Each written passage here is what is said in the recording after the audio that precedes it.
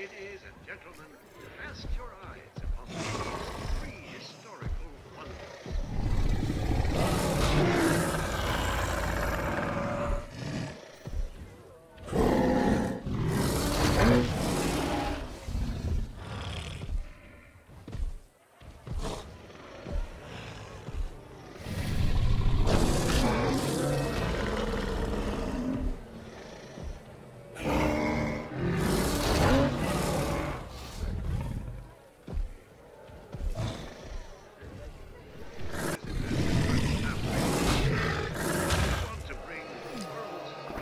To you.